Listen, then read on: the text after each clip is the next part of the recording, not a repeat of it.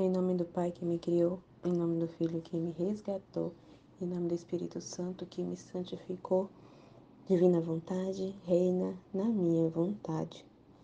Ó oh, minha mãe, eu te amo e tu me amas, dá-me um gole da vontade divina, minha alma. Me abençoa, Mãe, para que todas as minhas ações sejam feitas diante de vossos olhos maternais. Amém, Fiat. Suprema Majestade, eu venho em Sua divina vontade, em nome de todos, do primeiro ao último homem que existirá na terra, para dar-te as homenagens que tendes direito, as adorações, os louvores, o amor que cada criatura lhe deve, as ações de graças e fazer todas as reparações por todos e por cada pecado. Meu Senhor, na tua divina vontade, dou-te a minha vontade humana por meio do Imaculado Coração de Maria, que possui todos os dons e os frutos da divina vontade. Dai-me, Senhor, a tua divina vontade. Vem, ó divina vontade, nesta ação que estou a fazer e em todas as ações que eu farei durante este dia. Amém. Fiat. Vinde, Espírito Santo, vinde por meio da poderosa intercessão do Imaculado Coração de Maria, vossa amadíssima esposa e nossa mãe. Amém. Vinde, Espírito Santo, vinde por meio da poderosa intercessão do Imaculado Coração de Maria, vossa amadíssima esposa e nossa mãe. Amém. Vinde, ó Espírito Santo, vinde por meio da poderosa intercessão do Imaculado Coração de Maria vossa amadíssima esposa e nossa mãe. Amém. Tema do dia 7 do 6 é o trecho da live, volume 12, trecho 18. Jesus não fazia outra coisa que dar-se em poder da vontade do Pai, exemplo da santidade, de viver no divino querer. Encontrando-me no meu estado habitual, meu doce Jesus depressa veio e me disse: Minha filha, eu não fazia outra coisa senão dar-me em poder da vontade do Pai. Se pensava, pensava na mente do Pai. Se falava, falava na boca e com a língua do Pai. Se operava, operava nas mãos do Pai. Também o respiro respirava nele, e tudo o que fazia ia ordenado, como ele queria. Assim eu podia dizer que minha vida a desenvolvia no Pai, e eu era o portador do Pai. Porque tudo encerrei em seu querer e nada fazia por mim. Meu ponto principal era a vontade do Pai, porque eu não punha atenção a mim mesmo, nem pelas ofensas que me faziam interrompia meu curso, senão que sempre voava mais a meu centro e minha vida natural terminou quando em tudo cumpri a vontade do Pai. Coisa linda, né? Jesus falando como é que era a vida dele na divina vontade, né? Em tudo corresponder o Pai, né? Ele se dava em poder da divina vontade, né? Então é esse esquecimento e de não fazer nada por ele, mas tudo, né? Por amor ao Pai, tudo para cumprir com a vontade do Pai, né? Todas as coisas, né? Então é como ele está falando aqui, ó, é, ele estava aqui, ó, peraí. Ó, a minha vida a desenvolvia no Pai, a vida era desenvolvida na vontade do Pai, no Pai. Né? Então ele não fazia nada por ele mesmo, ali, da vontade dele. Vamos pensar assim, né? vamos pensar na vontade humana, né? Era tudo na vontade do Pai. E ele portava, o portador do Pai. Né? A vida na divina vontade, né? Ele que, que é o portador da vida divina. E só se movia para cumprir com a vontade do Pai. Né? aquela a razão divina que a gente fala, né? Ele não se moveu, se moveu por suas razões, razões humanas, né? Porque ele tinha também uma vontade humana, porque Jesus também é, é humano, né? Era 100% Deus, 100% homem, então ele tinha uma vontade também, né? Então, assim, mas tudo, tudo, tudo era para fazer a vontade do Pai, porque ele tá falando aqui, ó. Porque tudo encerrei em si, eu queria nada fazia por mim. Né? Nada ele fazia por ele. Então, as ofensas, ele não paralisava nas ofensas, ele não paralisava diante das circunstâncias. Né? Então, é, é, ele seguia adiante, nada interrompia o curso da vontade divina. Né? Então, ele estava muito atento ao que o pai queria. Por mais assim que aos olhos humanos, né, parecia ser contraditório ali, né? Aparentemente não parecia que ele, né? Mas assim, é porque assim, o, é como a gente estava falando ontem, né? Que o pensamento de Deus é totalmente diferente da gente, né? A gente entende uma coisa, a gente entende A e o pensamento do pai é B, né? Então é totalmente diferente. Totalmente. E por que as pessoas não entendiam Jesus, porque olhavam para Jesus de forma humana, né? Olhava ali a humanidade, a parte externa de Jesus. Então, por isso que não compreendia. Eles não é, conseguiam compreender o pensamento, né? As ações. É totalmente contrário, né? Então, toda a vida de Jesus foi ali, né? Para se, se cumprir, né? Se dava em poder. Então, o pensamento dele corria no pensamento do Pai, ele falava, falava na boca, com a língua do Pai. Então, assim, tudo era no querer divino, né? Só se movia, né, para Deus ali. Não fazia nada por ele mesmo, né? Nada por ele. E nada interrompia em se cumprir, né? Tanto que a gente viu, tanto que ele passou, né? Tudo que ele passou também na sua paixão, todos os sacrifícios e sofrimentos que ele passou, né? em tudo, em tudo para cumprir. Tudo era vontade do Pai, né? Então ele não interrompeu. Somente a gente vê ali na paixão quanto ele foi ali ofendido, né? Quanto humilharam Jesus, meu Deus, quantas coisas fizeram com Jesus na paixão e nada disso interrompeu o curso, né? Em cumprir. E pelo contrário, mais e mais ele queria. Parece que ardia mais aquela vontade de sofrer ainda mais por amor ao Pai, né? Para salvar as almas tudo o que ele queria era fazer a vontade do Pai. Tanto que lá no, no Getsemane, né? No horto lá das oliveiras, ele fala, né? Contudo que não seja feita a minha vontade, mas a tua, né? Então é muito incrível a vida de Jesus. Assim, tu, filha minha, se te deres em poder, né? Se dar a Deus, né? Que Deus fazer o que quiser, né? deixar Deus fazer, dar em poder para a divina vontade, né? É deixar Deus fazer em nós e através de nós, né? Não terás mais pensamento de nada. Minha mesma privação, que tanto te atormenta e te consome, correndo em minha vontade, encontrará o sustento. Meus beijos escondidos, minha vida em ti vestida de ti.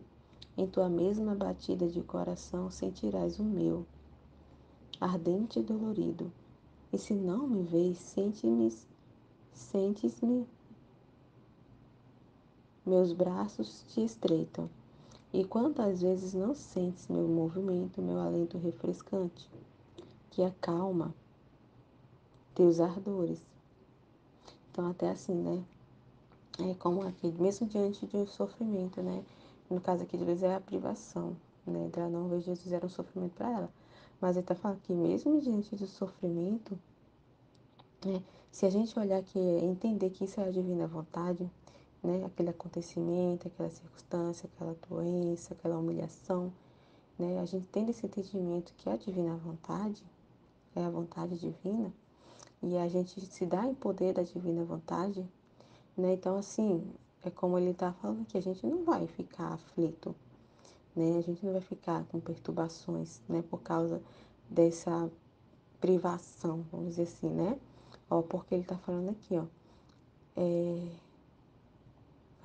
Se te deres em poder da divina vontade, não terá mais pensamento de nada, tá vendo? A gente não vai ficar preocupado pensando em nada, né?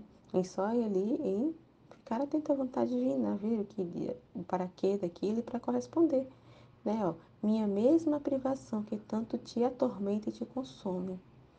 Né? Então, diante daquela circunstância, daquela humilhação, né? daquela dor, correndo na gente, correndo na vontade divina, estando na vontade divina, né? Encontrará o sustento. Então, aquilo, né? É, vai nos sustentar, vai nos alimentar, vai nos trazer luz. A gente vai ver Deus ali, né? A gente vai sentir Deus, né? Então, minha vida em ti, vestida de ti, em tua mesma batida de coração sentirás o meu. Então, é muito incrível, né? Então, se a gente fica olhando, né, diante das circunstâncias aqui que ele está dando, exemplo de uma dor, de uma privação, de sofrimento, e, e se não for correr na divina vontade, se não for ali, se a gente não entender que tudo é divina vontade, vai ser, né? A gente vai perder paz, vai entrar em tormento e não vai ver Deus nessa circunstância. Então, correndo na divina vontade é totalmente diferente, muda, né? Muda completamente. Então, mesmo né, diante de uma dor, a gente vai estar tá vendo Deus, né? Ali. Mesmo que aparentemente ele não esteja, que aparentemente, né? Que, em meio à dor parece que a pessoa, né? Parece que Deus não está ali. Né? As pessoas quando sofrem, é, acham que Deus se afastou, que Deus abandonou. Mas muito pelo contrário, é isso que ele está dizendo. Né? Não, estou aqui, estou correndo, né? Esse aqui, é, sou o aqui, ó. Sou os seus braços que te estreitam, os beijos, o seu sustento. Ele está falando que, né? Então, ele não deixa a pessoa, né? Ardente e dolorido. E se não me vês, sente-me em meus braços que estreitam. E quantas vezes não sente o meu movimento, o meu alento refrescante que acalma teus ardores? Né? Então ele nos acalma, né? É por isso que a gente fica em paz. A gente fica em paz diante de sofrimento, ele nos acalma, né? Esse conhecimento né, de Deus nos acalma, nos deixa em paz diante de, de dores, humilhações, de ofensas. Você sente tudo isto, e quando faz por ver quem te estreitou, quem te deu esse alento e não me vê. Eu te sorrio e te beijo com os beijos de meu querer e me escondo mais em você, para te surpreender de novo e para te dar um avanço demais em minha vontade. Por isso, não me amargures com afligir-se. Tá vendo? A gente não se perturbar, né? Porque isso traz amargura, né? Além da gente se amargar, Jesus também se amarga, né? O afligir-se. Se não, deixa-me fazer. O voo do meu querer não se detenha jamais em ti. De outra maneira impedirás a minha vida em ti. Enquanto, como o viver do meu querer, eu não encontro impedimento e faço crescer e desenvolver a minha vida como quero. Né? Então, é, esse aqui ele já está entrando aqui, o dia que ele está falando aqui, a gente já vê que essa questão da resignação, né? a diferença que ele vai falar aqui, da resignação, de viver resignado e da, e da querida, né? E, e, do querer, né? E viver no querer divino e, e, e resignado, a diferença. Então, olha só o que ele está dizendo aqui, ó, que mesmo está é, tá resignado, né? Tá, é a vontade divina. Resignação, né? Faz parte do processo, como a Aline falou ontem. Mas olha que, tá, que essa resignação também ainda assim pouco atrapalha, né? Porque tem coisa de humano, né? Ó, porque a gente não presta atenção nele, a gente não, não presta atenção né, naquela situação. A gente vive aquilo, mas não, não tem um diálogo com Deus. Então, olha só o que ele está dizendo aqui, ó. Por isso não me amargures em afligir-te, senão deixa-me fazer. Ó, o voo do meu querer não se detenha jamais em ti. De outra maneira, impedirias a minha vida em ti. Tá vendo? Então acaba impedindo mesmo a vida divina crescer em nós, né? Quando a gente é só assim, né? Não adianta só a gente entender que tudo é vontade de Deus, né? E se resignar e viver tudo assim, né? Naquela né? Sabe que tudo que acontece é Deus, mas e aí? Para que ali? Prestar atenção, ter esse diálogo, essa conversa com Deus. Deus quer falar alguma coisa, mas aí, se a pessoa não está prestando atenção, né? E está ali só, né? É, se resignando, isso também atrapalha, né? Da gente ter mais luzes, mais conhecimento e crescer a vida em nós. Então, ó, enquanto conviver do meu querer, ó, eu não encontro impedimento. Eu não encontro impedimento dele desabafar, dele falar, dele dizer o para que daquilo, dele conversar, né? Então é muito importante, né, o que foi falado ontem, porque isso impede, né? Se resignar é um processo, faz parte, né? Bom, né? Mas faz parte do processo, mas a gente precisa virar essa chave, porque talvez, né, seja isso que para muitos de nós esteja tendo essa dificuldade do crescimento, né? E de entender a Deus, entender a divina vontade por causa disso, né? Essa falta de diálogo, de conversar, né? Com Deus. Então, isso acaba tendo impedimento. né, da, da vida divina crescer. E faço crescer em desenvolver a minha vida como quero. Agora, para obedecer, ó, para obedecer a divina vontade, quero dizer duas palavras acerca da diferença do viver resignado à minha vontade e o viver no divino querer. Eu achei tão incrível essa explicação de Jesus do que é se resignar e, e viver no divino querer. Nossa, texto é muito incrível. Por isso que ele é tão longo, porque ele falou bem explicadinho, bem detalhado, né?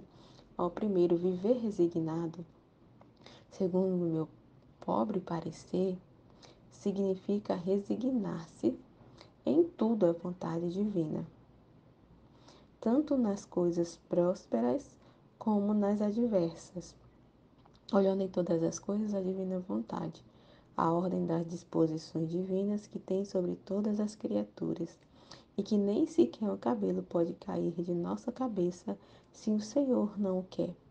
Parece-me que é como um bom filho que vai aonde quer o pai, sofre o que quer o pai. Rico ou pobre lhe é indiferente, porque está contente só de ser o que o pai quer. Se recebe ou pede ordem de alguma parte para o desempenho de alguma empresa, ele vai somente porque o quis o pai. Mas enquanto dura o tempo de estar longe, deve tomar um descanso, deter-se para descansar, tomar o alimento. Então interessante aqui, né? Falar do que é o resignado. Resignado é essa, essa, essa obediência de fazer, de cumprir ali, de, né, de se resignar que o pai está dispondo.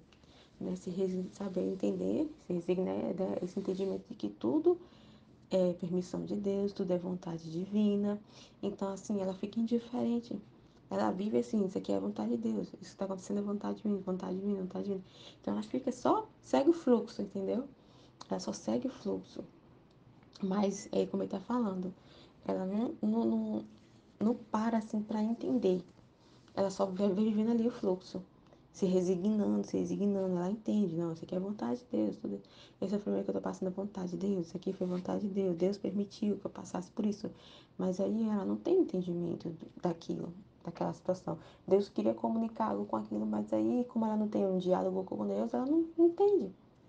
Né? Então, é um filho que é obediente ali, né? Que obedece o pai e vive ali, né? Tem algo assim, o pai pede para fazer alguma coisa, ela vai lá e faz, ah, eu vou, né? É vontade de Deus, eu vou cantar, né?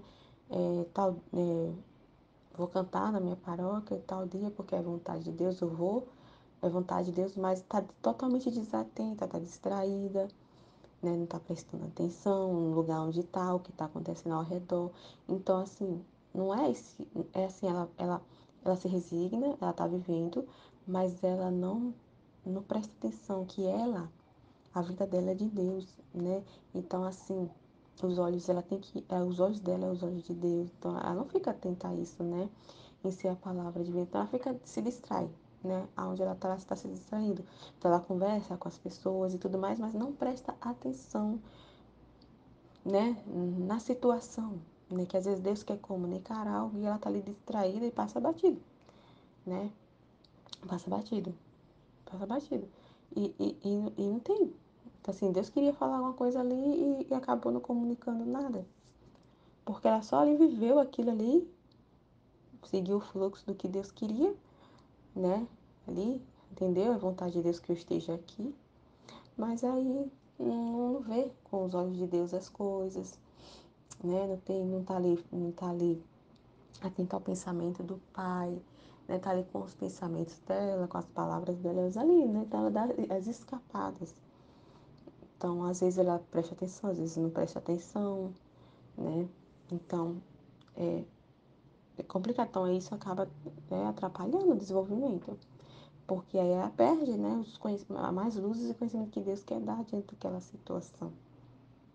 Né? E aí a gente acaba entendendo tudo errado. Tudo errado, né? E passa batido mesmo. Passa batido. E, e, e, o que Deus queria desenvolver em nós não desenvolve. Porque ela tá só ali, né? Ela, ela, ela tipo assim, estagnou nesse entendimento de que tudo é vontade de Deus.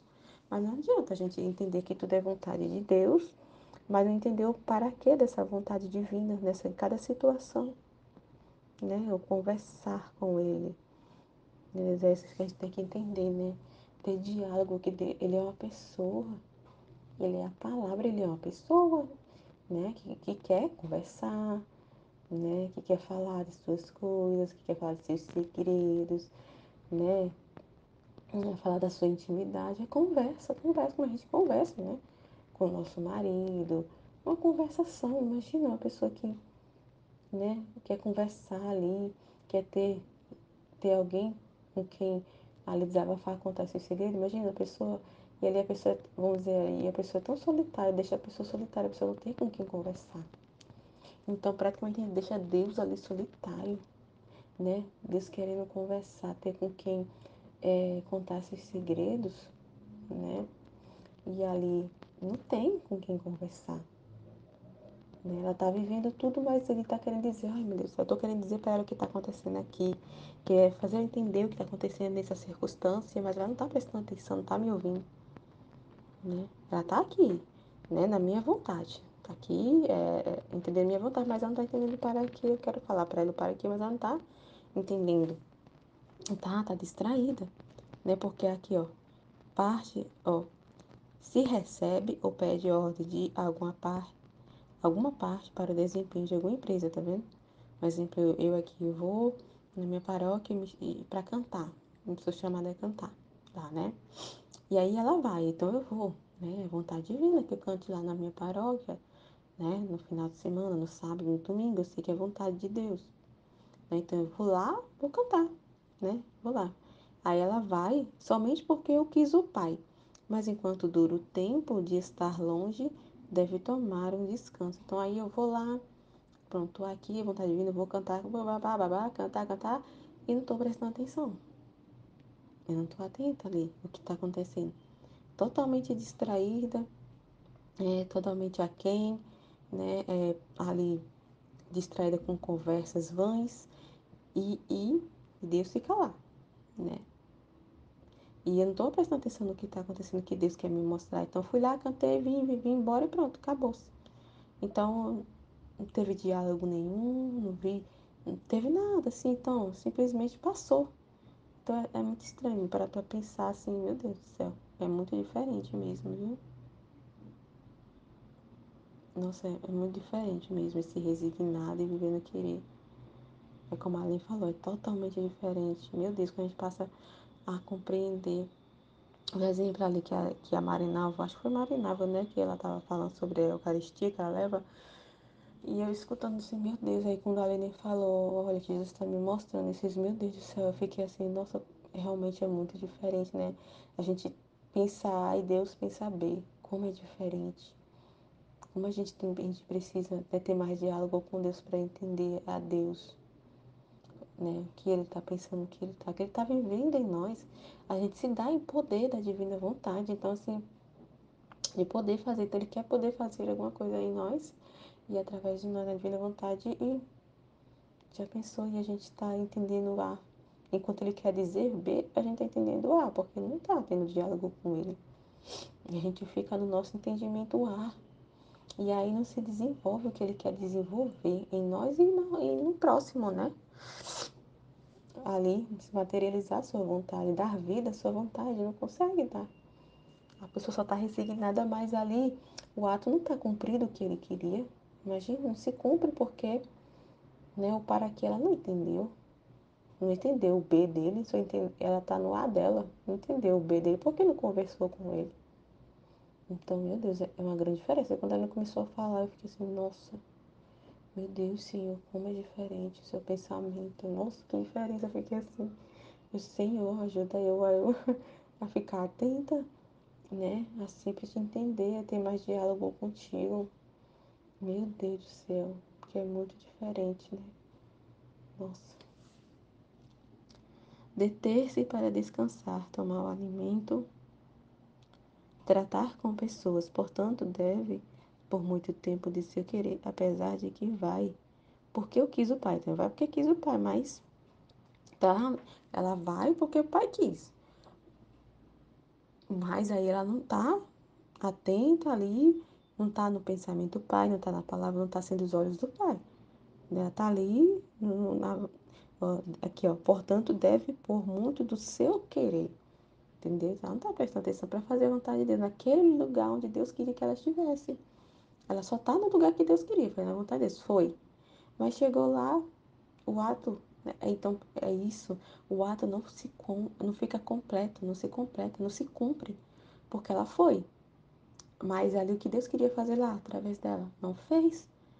Porque ela, ela tá ali distraída, tá ali fazendo alguma coisa no seu querer, tomou descanso e não tá, não tá prestando atenção ali. Para que, que Deus queria que eu estivesse aqui? E aí, o que Deus queria fazer não se cumpre, então o ato não é cumprido, que não foi feito, a pessoa tá ali, né? Só foi e não cumpriu, né? Foi, tá na vontade, se resignou à vontade de Deus, fui. Mas aí o ato não se cumpriu, o que ele queria, né? Então é muito sério. Já pensou quantos atos, meu Deus do céu, ficou incompleto assim? Não foi, não foi um ato cumprido, um ato completo na divina vontade, porque a pessoa não estava atenta. Meu Deus do céu, isso é muito sério, né? Meu Deus. Apesar de que vai, porque eu quis o Pai. Mas, ó, em tantas coisas se encontra na ocasião de fazer por si mesmo, tá vendo? Meu Deus do céu, isso é muito sério. Não adianta só a gente entender que tudo é vontade do Pai. Não adianta a gente ir lá naquele lugar porque foi vontade do Pai, assim quis o Pai, mas chegar lá a gente não presta atenção, então não se cumpre o que Ele quer. Meu Deus do céu, isso é muito sério. Portanto, pode estar os dias, os meses longe do Pai, sem estar em todas as coisas especificada a vontade, tá vendo? Então, pode estar dias, meses longe do Pai. Então, a gente pode estar dias, meses longe de Deus sem nem, prestar, sem nem perceber. Porque a pessoa acha que, ah, tô resignada aqui, então tá se cumprindo, tô fazendo os atos. Os atos tá sendo cumprido, o ato tá completo, mas não tá. Então, a gente tá nem percebendo. Pode ser que eh, muitos de nós esteja assim, dias e meses longe do Pai e a gente não percebe por causa dessa falta de diálogo, olha só. Sem estar em todas as coisas especificadas à vontade, vendo? Em todas as coisas. Então as coisas não estão especificadas na vontade do Pai. Meu Deus do céu, isso aqui, não sei nem explicar, mas eu vejo a seriedade isso aqui. Eu só não sei dizer em palavras aqui, mas, meu Deus, isso é muito sério. Muito, muito. Já, meu Deus do céu, quanta coisa pode ter ficado assim sem se cumprir. Os atos incompletos que Jesus fala, né? São atos incompletos. Atos incompletos. Assim, a quem vive resignado ao divino querer, é quase impossível não misturar sua vontade no que faz. Será um bom filho, né? Um bom filho, se resigna, é obediente. Mas não terá em todos os pensamentos, as palavras, a vida do Pai. Né? retratada de todo nele, porque devendo ir, voltar a seguir, tratar com os outros, o amor fica quebrado. Porque só a união contínua faz crescer o amor e jamais se rompe. E a corrente da vontade do Pai não está em comunicação contínua com a corrente da vontade do Filho, tá vendo? Comunicação. Então, que nos deixa em união contínua com Deus essa comunicação. É comunicação, é se comunicar com Deus. Porque senão o amor fica quebrado. E aí a gente não faz o ato da correspondência devida, né? Para com o Pai. Não faz, não tá amando, tá amando de volta a Deus, né? Fica quebrado por causa da falta de comunicação. Meu Deus do céu. E naqueles intervalos o filho pode habituar-se a fazer a própria vontade. Olha o perigo. Olha o perigo, né? No entanto, eu acho que é o primeiro passo para a santidade, né? Mas assim, é como a Aline falou, é bom, porque faz parte do processo. É o primeiro passo para a santidade, né? A gente tem que passar, né? É, é o processo, né? Ali tá ali a purificação, é a purific... na purificação a gente vai se esvaziando, né? Vai tendo conhecimento, né, do que a vontade de Deus, que tudo é vontade de Deus, vai se resignando à vontade de Deus. A gente não fica mais se debatendo, não fica mais reclamando, murmurando. A gente vai entendendo que as coisas que vão acontecendo é vontade de Deus, e aí a gente vai ficando em paz. Isso é um processo, né? A resignação, a pessoa primeiro se vai se esvaziando, depois vai se resignando diante desse vazio, e para tomar posse é um processo mesmo, né? É um caminho, né? Não tem como a gente chegar na posse sem passar por esse entendimento de se resignar que tudo é vontade de Deus. Então, faz parte, né, do processo. É o primeiro passo, como ela está falando aqui. Aí, segundo viver no divino querer, queria a mão do meu amado Jesus para escrevê-lo. A só ele poderia dizer tudo belo, o bom e santo do divino querer, de viver no divino querer. Eu sou incapaz, tenho muitos conceitos na mente, mas faltam-me as palavras. Jesus meu, converte em minha palavra e eu direi o que posso. Viver no divino querer significa inseparabilidade. Tá vendo? Não se separar. Tá vendo? Mas não é que a resignação a gente vai, faz, mas a gente tá separado. Se não tem comunicação assim, a gente fica separado. Porque não se cumpre. Então, Viver no divino querer é não se separar, é estar em, em comunicação contínua com Deus, é estar atenta, né?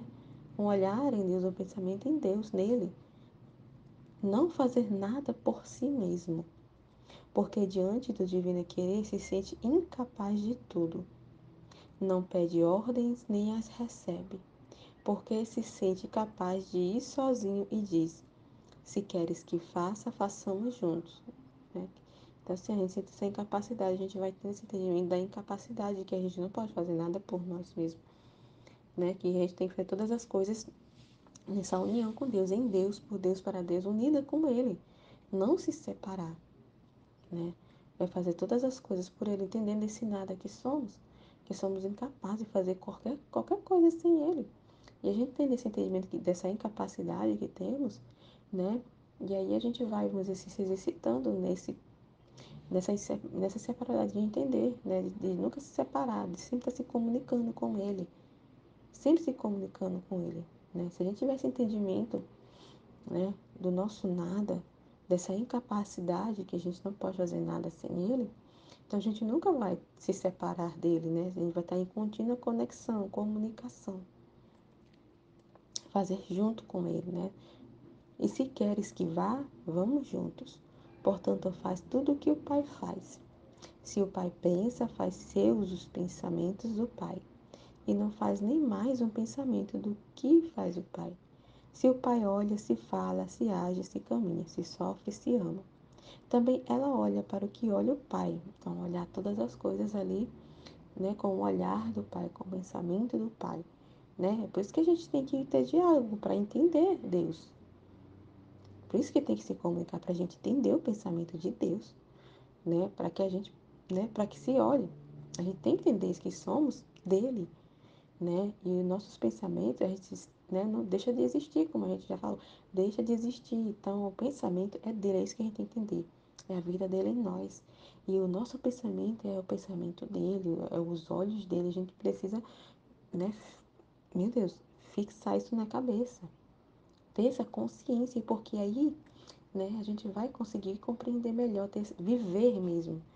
Né, na prática, isso que Deus está falando aqui. De, o que é viver, sair da resignação. E só viver na resignação e tomar posse. É viver mesmo, viver nessa inseparabilidade. Né? Ó, se re, ó, repete as palavras do Pai, age com as mãos do Pai caminha com os pés do Pai, sofre as mesmas penas do Pai e ama com o amor do Pai. Vive não fora, mas dentro do Pai. Por isso é o reflexo, o retrato perfeito do Pai. O que não é para quem vive somente resignado, é totalmente diferente, né? Porque aí ela olha para aquele sofrimento que ela está passando, aquela humilhação, e aí ela não vê que aquela, essa, essa, essa humilhação é a vida divina. É Deus sendo rejeitado nela, sendo humilhado. Né? Então, essa virada mesmo, né? Essa mudança de olhar para as coisas. Essa mudança de entendimento, né? Entender, de se deixar de existir literalmente. E não é a nossa vida, é a vida dele. Apesar de ser a gente que está vivendo aquilo, ser nós ali, né? fisicamente está ali, a gente está sentindo tudo, mas aí a gente tem que entender que tudo isso é Ele, é a vida dele que está acontecendo, né? Em nós. E através de nós, todos os acontecimentos é a vida dele, né? É ele que está sendo ofendido, é ele que está sendo humilhado, é ele que está sofrendo em nós, ele que está amargurado, né? Então é totalmente diferente, né? Viver resignado a gente acaba não entendendo, a gente fica vendo todos os acontecimentos como coisa nossa. E aí, por isso que, aí, que aí que tá, por isso que a gente entende uma coisa, né, totalmente diferente da de Deus, porque tá, não tá nessa comunicação, né, não chegou esse entendimento que é, é dele, é a vida dele, é ele, né. A este filho é impossível encontrar, encontrar sem o pai, nem o pai sem ele, e não só externamente, mas todo o seu interior se ver como entrelaçado com o interior do Pai, transformado, perdido tudo, tudo em Deus. Meu Deus, é muito grande isso. Ó, os voos rápidos e sublimes deste Filho no querer divino. Este querer divino é imenso. A cada instante circula em todos, dá vida e ordena tudo. E a alma, espaçando-se nesta imensidão, voa para todos, ajuda a todos, ama a todos, mas como ajuda e ama o mesmo Jesus, o que não pode fazer quem vive só resignado, tá vendo? Tá vendo? É o que eu tava falando, é a questão do ato incompleto. O ato não foi cumprido ali, a vontade de Deus não foi cumprida, né? Ela fez a vontade divina de ir, né? De, faz, de, de, de, né? de fazer aquela correção, ela está ali, né? Não está se debatendo na cruz, ela sabe que aquilo é vontade de Deus, aquele sofrimento. Mas aí ela não, não, não tá entendendo para quê, não está se comunicando o que Deus quer naquela situação. Né? Não olha com o olhar de Deus, não, não penetra no pensamento divino. Né? Então, assim, ela está distraída. Ela acha que aquilo ali é a vida dela. É ela. Né? Então, ali na resignação dela existe mesmo ela entendendo que tudo, tem, tudo é Deus, ela está existindo ainda ali na resignação. Então, por isso que a pessoa acaba não compreendendo, né? Porque ela está existindo ainda na resignação, né? É, e aí ela não vê que aquilo, aquilo que está acontecendo é a vida de Deus. É Deus sofrendo, é Deus sendo humilhado, é Deus sentindo dor. Então, é, é também que ele está dizendo, no resignado, então o ato não se cumpre. Né? Então, aquele, aquela vontade, tá, tô fazendo a vontade de Deus. Mas aí, aquele, aquela, aquele, aonde eu tô, naquela, na resignação, aquele ato de eu ir, né, não tá trazendo nenhum fruto, vamos, né, pelo que eu tô entendendo é isso, não tá trazendo bens que correm para todos, que abraça todos, né? Olha o que tá falando, ó. Aqui, ó. Deste filho no querer, ó, este querer divino é imenso, ó a cada instante circula em todos, dá vida e ordena tudo. E a alma, espaçando-se nesta imensidão, voa para todos. Tá vendo? A pessoa conectada, unida ao Pai, né, no querer divino, ela, ela, ela assim, ó, ela está nesta imensidão e voa para todos, ajuda a todos. Então, a gente nessa comunicação, entendendo a Deus e vendo que aquilo, o para quê daquilo, entendendo, né, é, cumprindo a vontade de Deus na, na, em ir para aquele lugar, entendeu? Para quê? É, o ato vai se cumprir. E aí, esse bem vai se estender. A ajuda vai para todos, né? Vai ajudar a todos. Passado, presente e futuro. Então, meu Deus do céu. Isso aqui, Senhor, eu não sei nem o que o que eu tô entendendo assim. Não sei, nem, nem põe em palavras, mas meu Deus, isso é muito. Eu só consigo vir na minha cabeça assim a seriedade disso. É só o que ver. Porque. Ai, Jesus do céu. Agora eu fiquei. Meu Deus do céu, ajuda nós, Senhor, ajuda nós. A passar, a sair dessa resignação. Faz parte do processo, mas a gente precisa virar essa chave. Porque, para que os atos fiquem completos, né? para que o ato se cumpra. Não adianta só ir e, e a vontade divina não ser cumprida no, da forma ali que ele quer.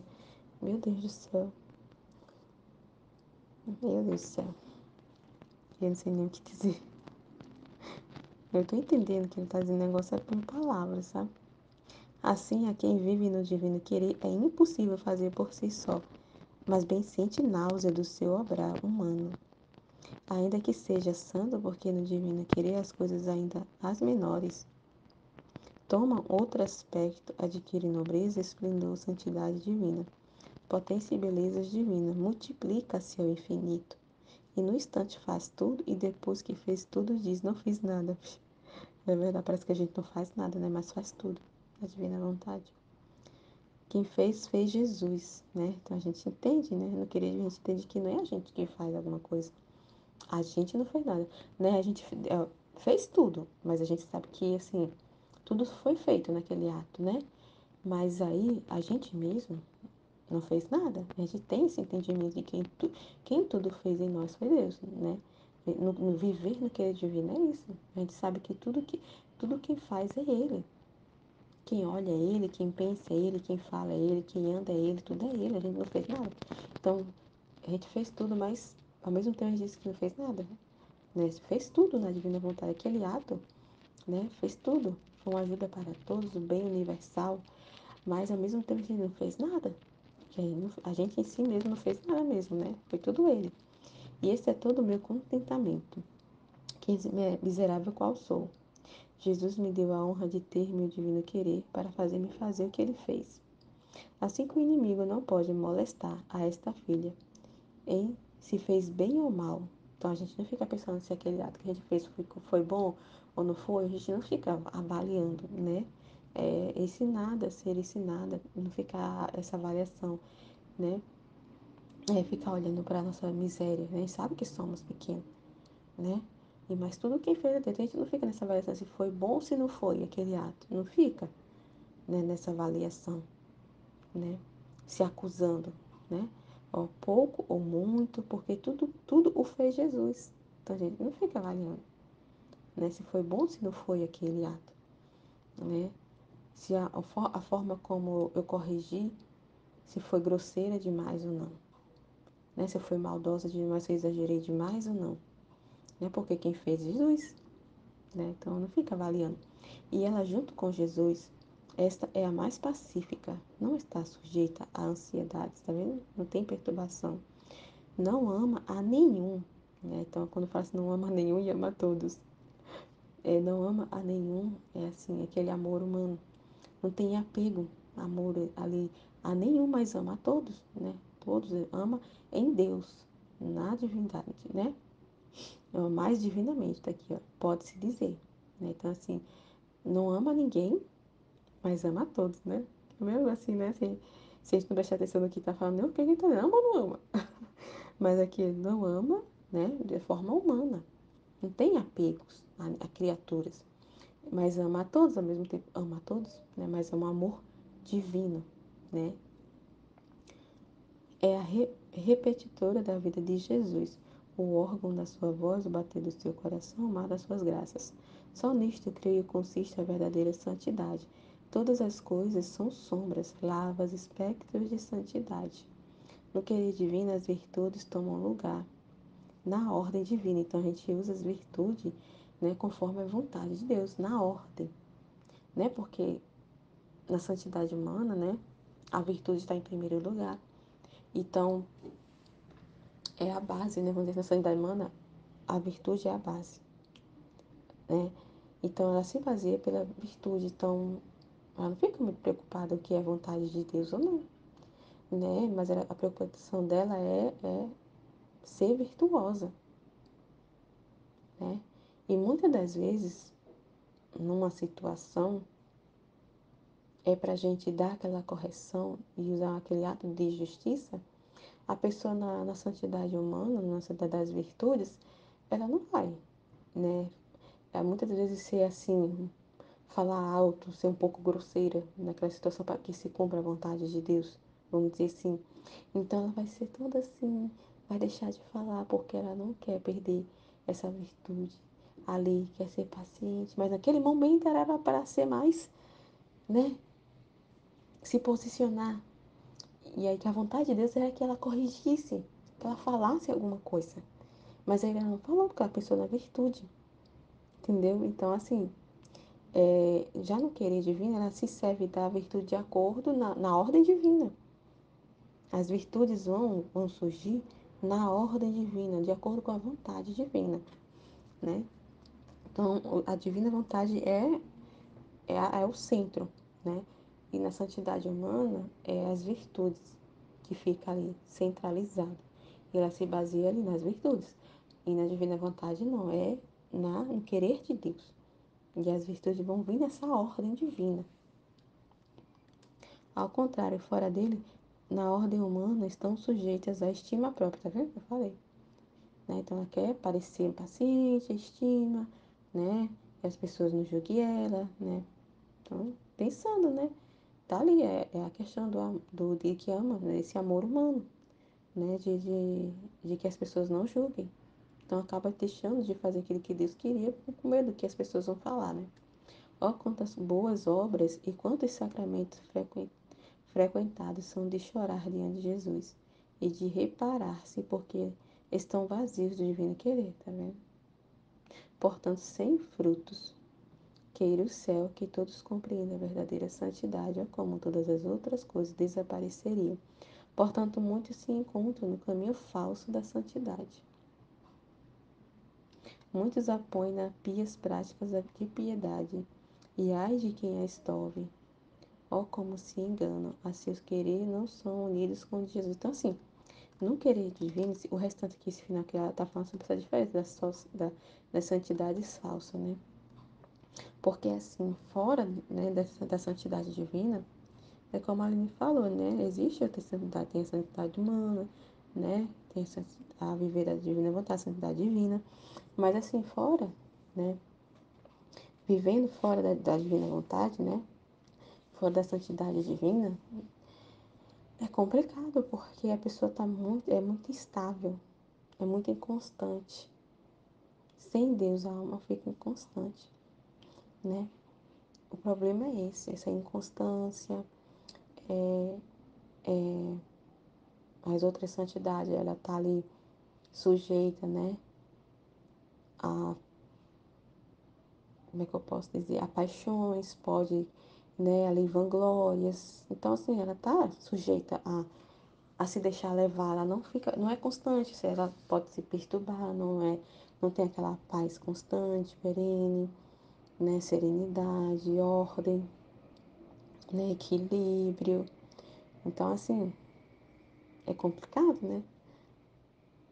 É difícil, muito difícil mesmo. Então, assim, por isso que ela tá falando. É uma sombra, né? É uma sombra, é uma, é uma santidade que, assim, né? Como ela está falando, uma santidade que é falsa. Porque, né, num, num instante de contrariedade que ela tiver, um momento de dificuldade, toda aquela, vamos dizer assim, aquela equilíbrio que ela está tendo, né, se desmorona. Na primeira dificuldade, na primeira contrariedade, ela se deixa levar pelo que ela está sentindo, né? Então, só em Deus né? Na santidade divina que a gente tem. Mas não é porque a gente é Deus. Tá aí a diferença. Porque não é a gente, não é, não é a gente que está vivendo, é Deus em nós. Então por isso que a, é, a gente fica ordenado, a gente fica em paz, né? As coisas entram em, em equilíbrio, né? Porque é Ele, é Ele vivendo em nós. Então a gente não vai se deixar levar por ansiedade, por ocasião, não vai paralisar diante das circunstâncias, né? Então é totalmente diferente mesmo. Mas o que ficou assim, para finalizar aqui, o que ficou na minha cabeça foi isso, meu Deus do céu. Essa questão de que a gente precisa virar essa chave por causa disso. É um processo, né? Muito bom da gente. A gente ainda tá. Da gente assim, tá, né? É, ver resignado, porque faz parte, né? É um passo para santidade. Mas acho que já, já, já passou do tempo da gente virar essa chave. A gente já entendeu, né, que tudo é vontade de Deus, né, de ver essa resignação, né, não ficar se perturbando, entender que tudo é Ele, né, Ele está em toda parte, em todas as coisas, todos os acontecimentos, mas a gente precisa, já está mais que na hora da gente virar essa chave, né, e fazer esses atos ser cumpridos, fazer atos completos, né, no, no querer divino Né? Se a gente não começar a, a ter essa vida de comunicação com Deus, meu Deus, isso é muito sério, porque muitos atos vai estar incompleto. Então, é por isso que tem os trechos que Jesus fala que é Ele que completa, né? Quando a gente está nesse processo, a gente vive mais na intenção. Então, é, é Ele que parece que é uma coisa assim tão parece que é Ele que completa. Ele que, dá, que completa aquele ato, uma coisa assim, né? Eu, eu me esqueci agora, não lembro direito o que, que ele fala. Mas tem um trecho assim, porque a gente fica mais na intenção, como fala, é um empréstimo, né? E a gente fica mais naquela intenção, né? Mas aí Deus quer que a gente vire essa chave, né? Esse trecho é para ele tá trazendo aqui, que chama assim mais atenção de todo trecho, é isso. É, é, é nos atentar e aprendermos a, a nos estar nessa comunicação, a se comunicar com Ele, para poder que os atos sejam completos, os atos se cumpram. Porque na resignação os atos não é completo, não é cumprido de forma completa como ele quer que seja, de todo no querer dele. Ele não quer que a gente fique estagnado na resignação, mas ele quer que a gente avance. E esse trecho é isso, né? Ele quer que a gente tenha esse avanço, né? Saia desse primeiro passo. O primeiro passo é a resignação para chegar a essa santidade. Mas ele quer que a gente saia disso já. Há muito tempo já era para a gente ter saído disso. Virar finalmente essa chave. E para começar e virar essa chave, a gente precisa se comunicar com ele, conversar com ele diante da circunstância, dos acontecimentos, de tudo. Né? E não é uma vez ou outra, não é uma hora marcada. É constantemente, a cada segundo, a cada minuto. Né? É a vida dele. É a vida dele em nós. É a gente tem que entender. É ele vivendo em nós. Então, é a vida dele acontecendo. Né? E a gente precisa ficar atento mesmo, se comunicar, entender ele, para que a gente não fique entendendo totalmente o contrário do que Deus quer, né? E esse ato se cumpra o que ele quer fazer, né? Amém, Fiat. Em nome do Pai, que me criou, em nome do Filho, que me resgatou, em nome do Espírito Santo, que me santificou. Divina vontade, reina na minha vontade. Minha mãe, eu te amo e tu me ama. Dai-me um gole da vontade divina para minha alma. Me abençoa, Mãe, para que todas as minhas ações sejam feitas diante de vossos olhos maternais. Amém. Tema do dia 7 de junho, 14 de agosto de 1917, volume 12. Jesus não fazia outra coisa que que dá-se em poder da vontade do Pai, exemplo da santidade de viver no divino querer. Encontrando-me no meu estado habitual, meu doce Jesus depressa veio e me disse: Minha filha, eu não fazia outra coisa senão dar-me em poder da vontade do Pai. Se pensava, pensava na mente do Pai. Se falava, falava na boca e com a língua do Pai. Se operava, operava nas mãos do Pai. Também o respiro respirava nele, e tudo o que fazia ia ordenado como ele queria. Assim, eu podia dizer que minha vida a desenvolvia no Pai. E eu era o portador do Pai, porque tudo encerrei em seu querer e nada fazia por mim. Meu ponto principal era a vontade do Pai. Porque eu não ponho atenção a mim mesmo, nem pelas ofensas que me faziam interromper meu curso, senão que sempre voava mais a meu centro, e minha vida natural terminou quando em tudo cumpri a vontade do Pai. Assim tu, minha filha, se te deres em poder de minha vontade, não terás mais pensamento de nada. Minha mesma privação que tanto te atormenta e te consome, correndo em minha vontade, encontrará o sustento. Meus beijos escondidos, minha vida em ti revestida, minha vida em ti vestida de ti. Em tua mesma batida de coração sentirás o meu, ardente e dolorido. E se não me vês, sente-me. Se não me vês, sente-me, meus braços te estreitam. E quantas vezes não sentes meu movimento, meu hálito refrescante que acalma teus ardores?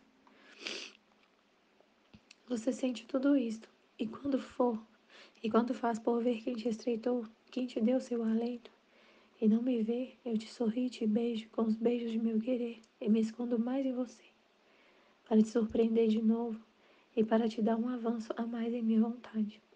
Por isso, não me amargures com afligir-te, senão deixa-me fazer. O voo do meu querer não se detenha jamais em ti. De outra maneira, impedirias a minha vida em ti, enquanto Enquanto conviver do meu querer, eu não encontro impedimento e faço crescer e desenvolver a minha vida como quero. Então, nessa parte aqui, Jesus está explicando para ela como que era a vida dele, né? Ele não fazia outra coisa se não dasse em poder da vontade do Pai. Pensava na mente do Pai, falava na boca do Pai, com a língua do Pai.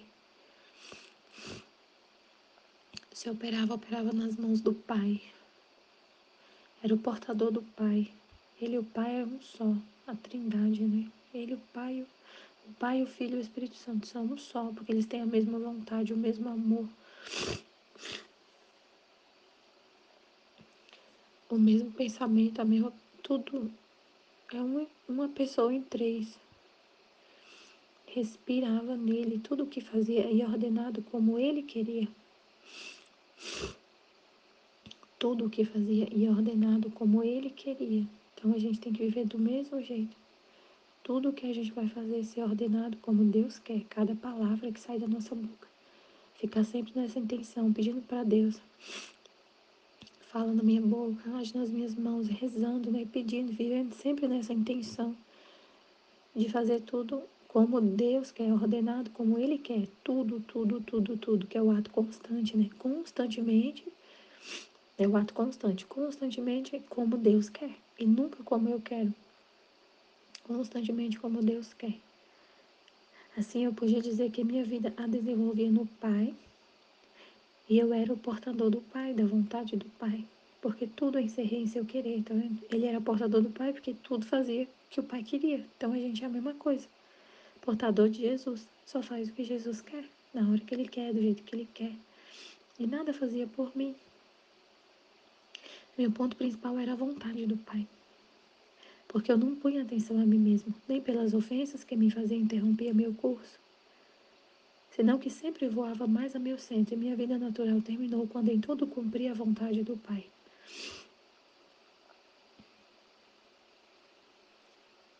Assim tu, minha filha, se te deres em poder de minha vontade, não terás mais pensamento de nada. Minha mesma privação que tanto te atormenta e te consome, Correndo em minha vontade encontrará o sustento. Então, a gente vive na mesma coisa. Quando acontece qualquer coisa, qualquer coisa que acontecer, igual ela sentia essa dor, privação, e ele falou: você vai encontrar sustento nessa dor se você colocar tudo na minha vontade. É a vontade do Pai. Então, eu me entrego, eu me dou em, vontade, em poder da vontade do Pai. Eu faço só o que o Pai quer. Eu, então, nesse, nesse momento que está ordenado por Ele, é que eu sinta essa dor, essa privação. E em tudo que acontece na nossa vida, quando a gente pensa assim, é vontade de Deus, é Deus, é a vida de Deus em mim, você, você encontra sustento. Você começa a, se, se você entende assim, e tudo é a vontade de Deus, é, é, como foi falado tanto ontem na live, né? A gente tem que conectar essa chave na cabeça. Se a gente pensa, é Deus pensando, o que está acontecendo é Deus que está fazendo acontecer. Né? Então, é, você encontra sustento em tudo, tudo, tudo, tudo, tudo.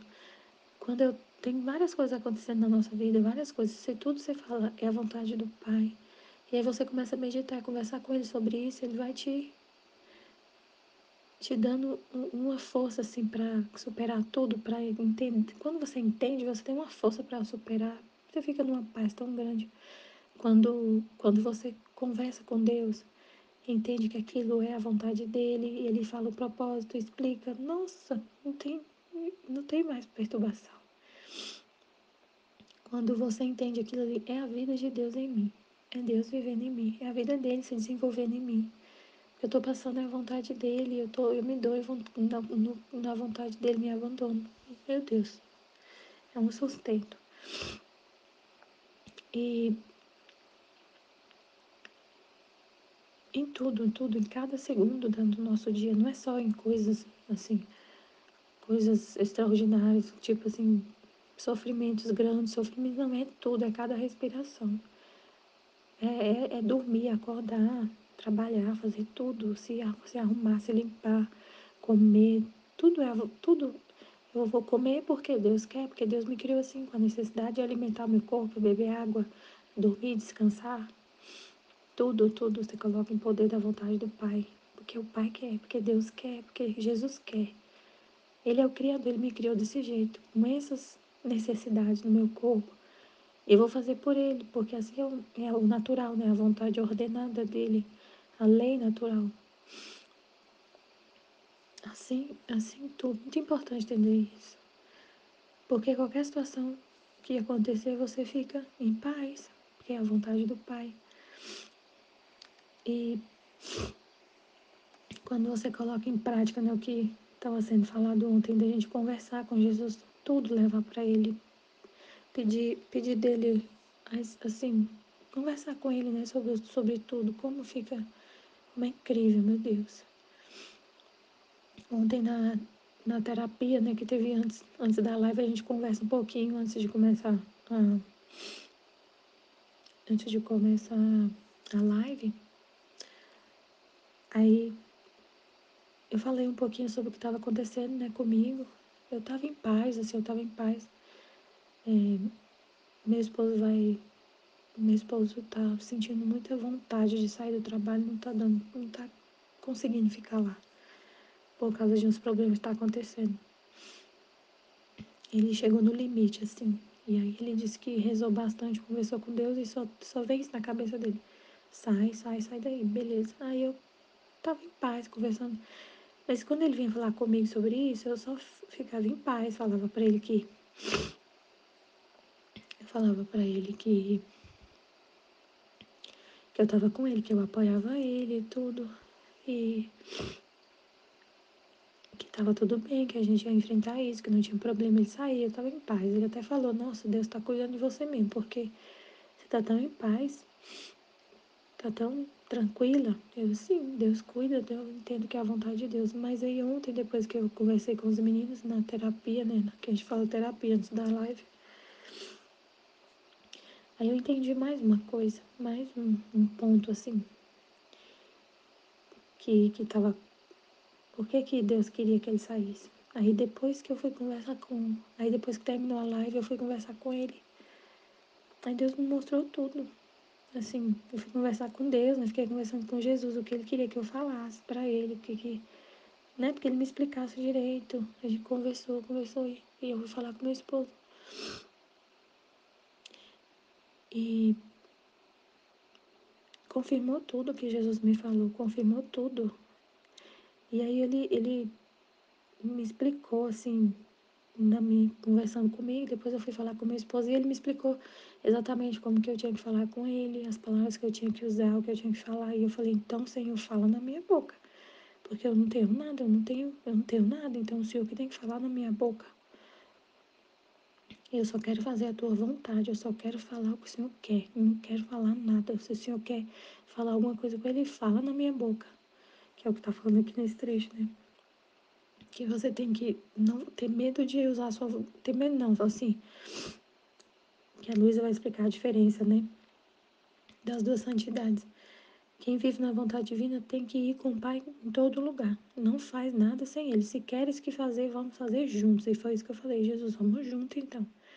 Eu não quero falar nada. Porque até então, quando ele falava comigo, eu, não, eu ainda não tinha muitos elementos assim para falar com ele. Mas ontem eu falei tudo. Falei assim, ó, você tinha me pedido minha opinião.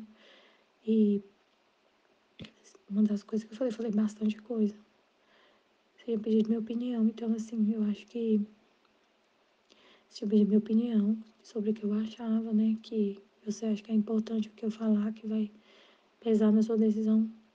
Eu penso que você tem que sair. É, faz, cumprir só o aviso. Não tem necessidade de ficar mais tempo e não sei o quê. E aí, a gente tá fazendo estudo, a gente participa do SCC. E aí, uma das tarefas dessa semana é estudar Atos dos Apóstolos.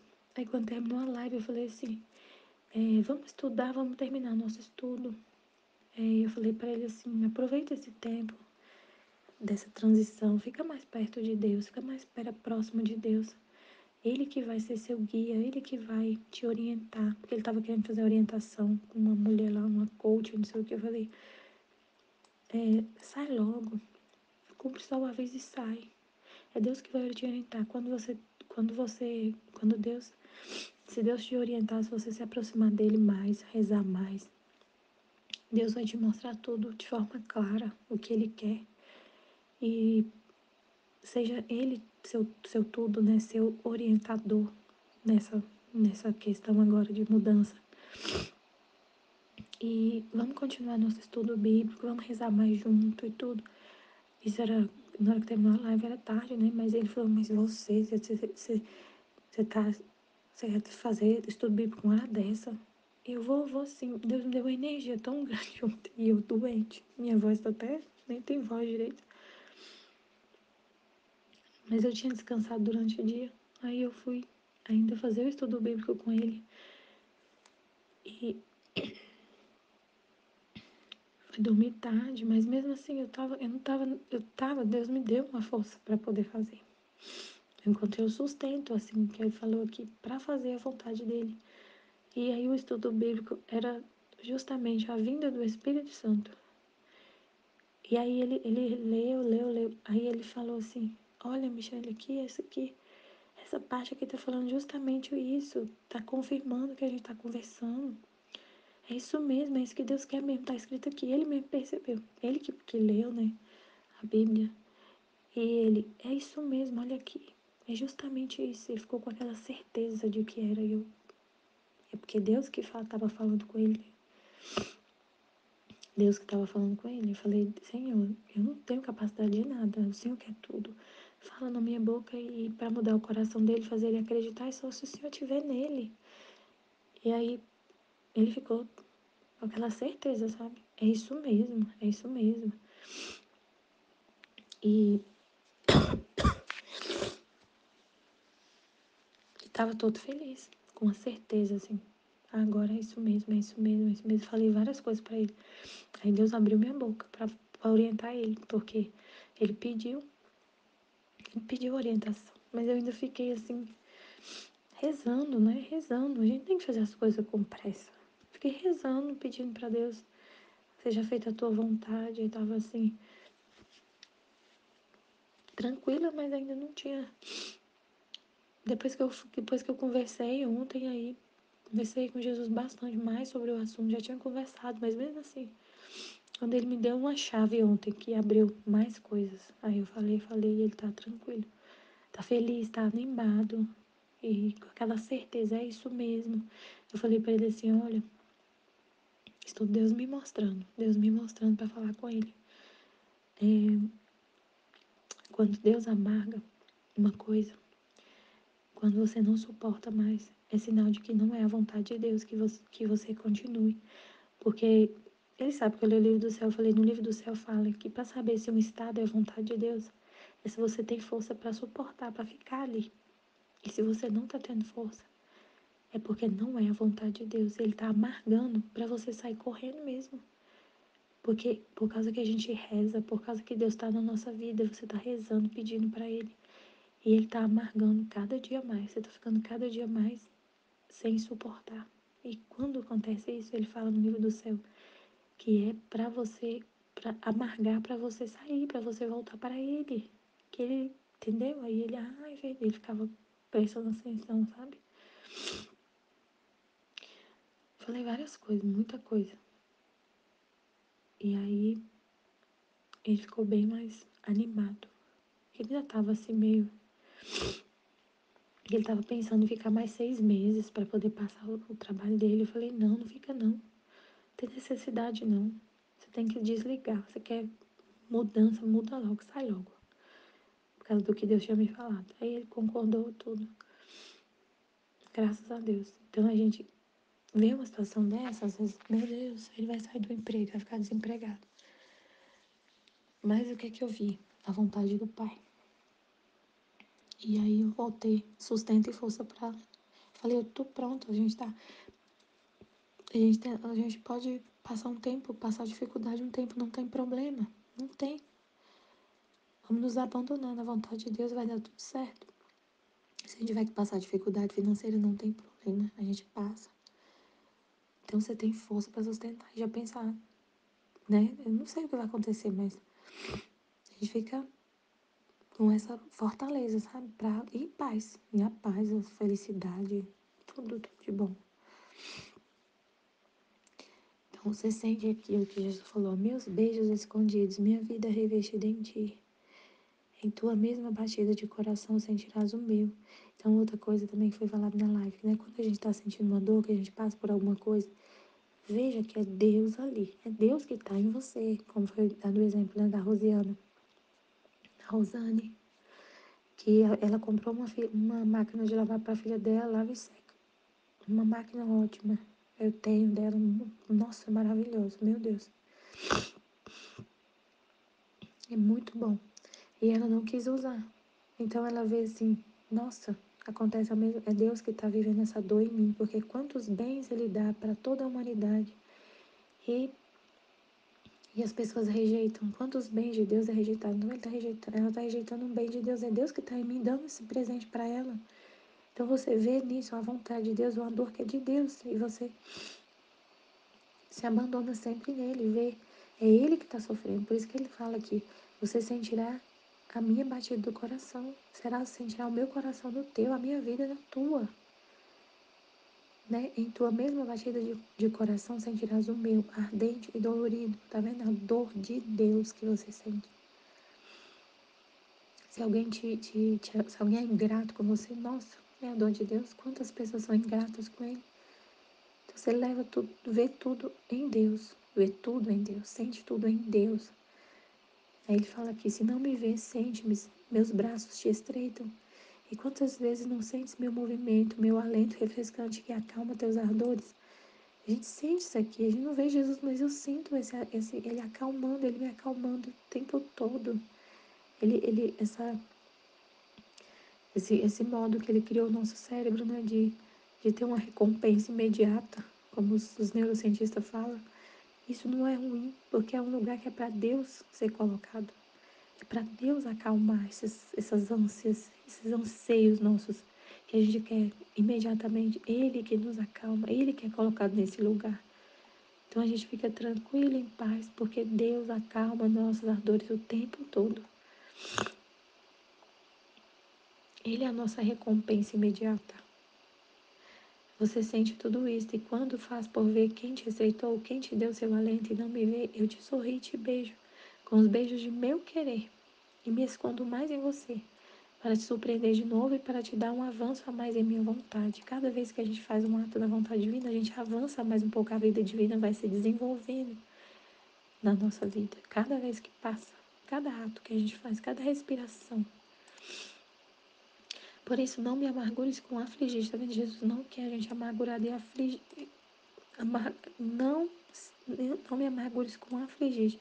A nossa aflição amargura o coração de Jesus. Se você ficar aflita, por exemplo, nesse caso, eu ficar aflita, porque meu esposo vai sair do, do emprego, vai ficar desempregado. Eu tenho que me abandonar. Eu me abandonei na vontade dele, então fica tudo em paz.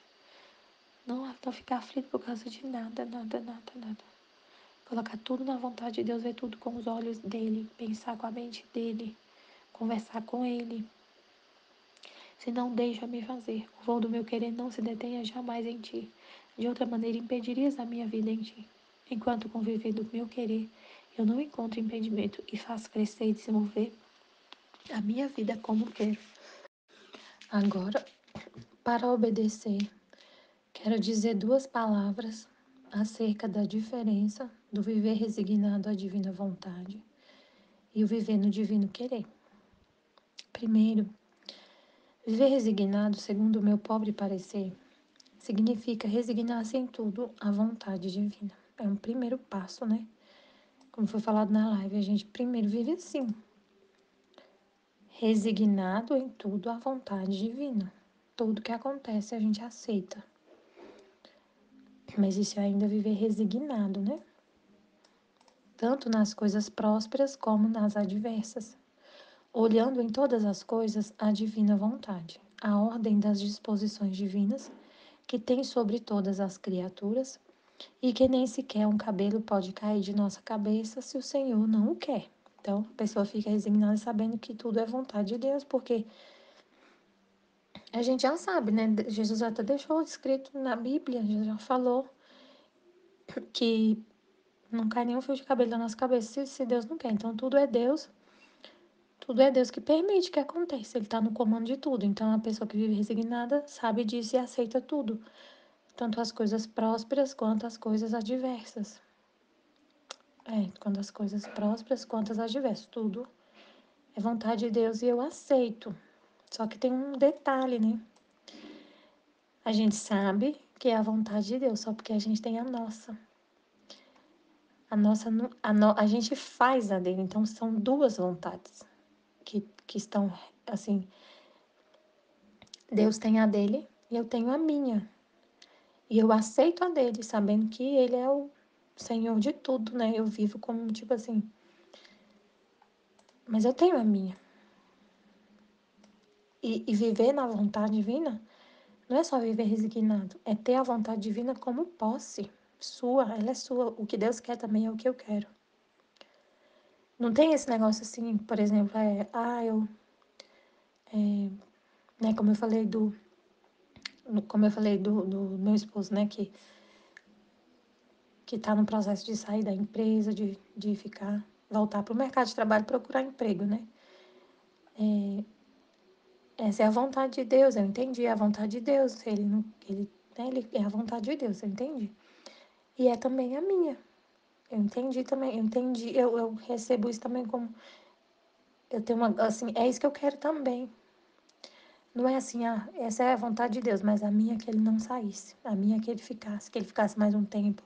Mas, tipo assim, eu aceito a vontade de Deus, tipo assim, sabe? Eu tenho a minha, mas eu sei que a de Deus é que ele sai, que ele vai ficar desempregado. Mas a minha vontade mesmo é que ele não saísse, é que ele ficasse, que ele nunca saísse do emprego, que ele nunca voltasse pro mercado, não sei o quê. Não, não existe isso, né? né? Isso seria viver resignado. Mas viver com a vontade divina é você ela ter, ter ela como posse, ela é sua. Você entende qual é a de Deus e, e, toma ela como, e toma ela como sendo sua.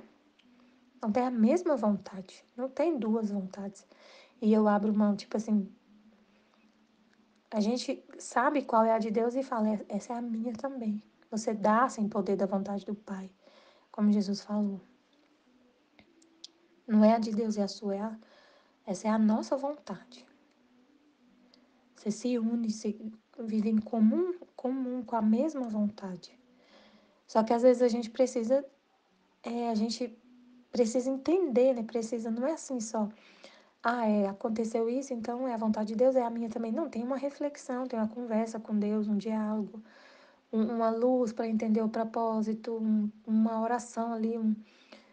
Não é só aceitar, assim, viver num, como se fosse assim, ah, eu aceito tudo e tá bom demais e bola para frente. Não é assim. A gente entende, tem, tem uma conversa, uma reflexão, Deus te explica muita coisa, então não é somente aceitar e falar assim, também é a minha vontade. Mas para você falar isso, também é a minha vontade, a gente usa a inteligência. Que a inteligência contempla a e a gente ama a vontade de Deus, entende, fala, não, eu também quero assim. Tipo assim. Parece-me que é como um bom filho, que vai onde quer o pai, sofre o que quer o pai. Rico ou pobre lhe é indiferente, porque está contente só de ser o que o pai quer se recebe ou pede ordens de ir a alguma parte para o desempenho de alguma empresa, de alguma função, né, de algum trabalho, ele vai somente porque o quis o pai. Mas, enquanto dura o tempo de estar longe, deve tomar um descanso, deter-se para descansar, tomar o alimento, tratar com pessoas. Portanto, deve pôr muito do seu para do seu querer, apesar de que vai porque quis o pai. Então, isso aqui é importante entender, né? Que é o que Jesus estava tanto explicando na live. É... Tudo que acontece, a gente vê a vontade do Pai. E eu vou porque o Pai quer. Eu só vou em algum lugar porque o Pai quer. Então, você vai trabalhar, por exemplo. Você vai trabalhar todo dia. E você sabe que isso é a vontade de Deus. Todo dia você está lá trabalhando. Você vai porque é a vontade de Deus. Mas no ato mesmo de trabalhar, você se desliga de Deus. Desliga o pensamento de Deus, desliga ali. Tipo assim, você vai trabalhar. Então, o ato de trabalhar, na hora que você sai de casa, eu vou porque é vontade de Deus. Só que enquanto você está trabalhando, você se distrai com as pessoas, com as coisas. Aí, coloca muito do seu, da sua vontade, da, de, de fazer as coisas não somente por causa de Deus, não ver tudo com os olhos de Deus não fica ali conectado com Deus, olhando tudo com o olhar dele, ouvindo tudo com ele, com um olho nele e outro no trabalho, como ele falou para Luísa no volume 1. Olhando para ele, olhando para o trabalho e olhando para ele, conversando com as pessoas e ao mesmo tempo tendo consciência que é ele que está ouvindo em você, é ele que está vendo em você, e os sentimentos que vêm são dele. Então não tem esse. Quem vive na vontade divina não desliga. Mas quem vive só resignado vai trabalhar, vai porque Deus quer, vai, vai tranquilo. Mas chega lá, desliga a, a consciência e não entende que ali é Deus que está trabalhando. Não tem essa consciência. E se acontece alguma coisa, não vai falar com Deus, não vai pedir, não tem um diálogo com Deus, assim, uma intimidade com Ele, conversa com Ele, se, né? Tipo assim, na hora que você está, às vezes, conversando com alguém, você fica lá olhando para a pessoa, mas é, sabe que Deus que está ali olhando que está falando que você é uma boca e a palavra é Ele. Sabe? Depois tem um. Você conversa com Ele sobre tudo. Então, quem vive, na, quem vive só resignado, enquanto está fazendo o ato, vai e faz porque Deus quer, mas enquanto está fazendo, não entende que é Deus que está ali. Não tem essa conexão contínua, constante, em cada respiração. É só o ato de trabalhar, mas a respiração, o batimento cardíaco, a palavra, o olhar, tudo, tudo, tudo que você vai fazer ali durante o ato de trabalhar, que são muitas horas, você não não está ali constante, se dando em poder da vontade do Pai, como Jesus falou. Cada instante eu me dava em poder da vontade do Pai. A cada instante, a cada instante, a cada respiração, a cada pensamento, a cada palavra. Então não pode desligar tratar com pessoas, portanto, deve pôr muito de seu querer, apesar de que vai porque o pai quis. Mas em tantas coisas se encontra na ocasião de fazer por si mesmo. Então, vai e, e enquanto está ali, que são muitas horas fazendo aquele trabalho, faz muita coisa por si mesmo, toma decisões por si mesmo, faz algo que é por causa de, de um interesse de virtude, o interesse de algum vício que ainda tem, alguma coisa assim. Não é só por Deus, com Deus, em Deus, olhando com Deus e, e recebendo a luz de Deus para fazer tudo. E aí, como a gente falou ontem, tem sinais. Esse, esse, essa inseparabilidade, essa separabilidade, quando você separa, ela deixa sinais. Por exemplo, perturbação, ansiedade muito grande, é, você não conseguir dar conta das coisas, assim, você ficar muito agitado, perturbado, a ponto de ficar, às vezes, com crise de ansiedade mesmo, com dor de cabeça, com pressão alta, com muita coisa. Porque você tá. Você foi porque o pai quis, mas no momento que você estava fazendo, você estava sozinho, você não chamou Deus para ir junto, você não veio aquela consciência ali que é Deus que está fazendo, aí você se perturba. Porque se a gente ficar sozinho, você pode se perturbar, você não sabe fazer nada. Você acaba se se perder a comunicação com ele, aí, aí fica assim, tem sinais. E esses sinais são justamente para você perceber. Tem que, que voltar, tem que mudar, né? Tem que não viver só resignado, mas tem que estar tá em tudo, em, me dar em poder da vontade do Pai a cada instante. Assim, a quem vive resignado ao divino querer é quase impossível não misturar sua vontade no que faz. Será um bom filho, mas não terá em todos, tá vendo? Mas não terá em todos os pensamentos, as palavras, a vida do pai retratada de todo nele. Porque devendo ir, voltar, seguir, tratar com outros, o amor fica quebrado. Porque só a união contínua faz crescer o amor e jamais se rompe. E a, e a corrente da vontade do pai não está em comunicação contínua com a corrente da vontade do filho, tá vendo? A corrente só tava na hora assim, tô indo trabalhar, é vontade de Deus, eu vou. Mas na hora que você tá lá, quebrou a corrente da comunicação. Comunicação tem a ver com palavra, diálogo, pensamento, oração, conversa com Deus, comunicação contínua em tudo que você está fazendo. Recebendo a vida dele, a vida do ato sendo a, a vida daquele ato sendo a vontade divina. Então, na, na, na resignada não, não é comunicação contínua com a corrente da vontade do Pai. E naqueles intervalos, o filho pode habituar-se a fazer a própria vontade. No entanto, eu acho que é o primeiro passo para a santidade, com certeza, é um primeiro passo. Em alguns momentos você está ali com a vontade do Pai. Vai porque o Pai quis, mas não é comunicação contínua. Então a gente tem que é sempre trabalhar, trabalhar, trabalhar, habituar, nos habituar a ficar com a vontade querida e ordenada do Pai constantemente. Aí, vira, aí fica constante. E aí você não fica só com, a, com a, o dom da divina vontade como um empréstimo, mas toma como posse. E em tudo, tudo vai ser a vontade do Pai, em cada respiração sua. É isso que Deus quer, né? Que a gente viva assim. É esse o convite dele. Como ele falou, não é, a gente não está obrigando ninguém a viver isso. Você vai, é, Jesus, eu, eu, procurei ontem, não achei. Jesus falou num trecho do livro do céu, a Luísa pergunta para ele sobre isso. Que ele falou da santidade, dos caminhos da santidade, que ele está abrindo esse caminho da santidade divina, mas que, que ele deixa todo mundo livre para fazer o que quiser. Que quem, quem quiser, quem quer ficar no caminho da santidade divina, está aberto o caminho, mas quem não quiser vai ficar na santidade humana. Eu vou ver se eu acho o trecho aqui, é muito incrível que Jesus falou, é um convite. É um convite, não é uma obrigação. Não é que assim, ah, quem, não, quem não viver na santidade divina vai para o inferno. Não é isso. Não existe isso. A gente continua livre para encontrar Deus. Ele está de todo o coração, né? Então, assim, eu vou procurar aqui o que ele falou. Então, ele falou aqui, ó, que deixa a gente livre, que é o que estava falando ontem na live, né? Que a gente tem essa liberdade. A vontade de Deus é o caminho real que conduz à santidade da semelhança do Criador. A Luísa perguntou: Meu amor, se, se, se com a tua redenção nem todos se salvam, como pode a tua vontade dar a todos esta felicidade? Porque ele falou: é, é felicidade para todos. Ela falou: Mas nem todos se, nem se salvam, como que vai viver essa santidade? Ele falou: O homem será sempre livre, não lhe tirarei jamais os direitos que lhe dei ao criá-lo, de liberdade.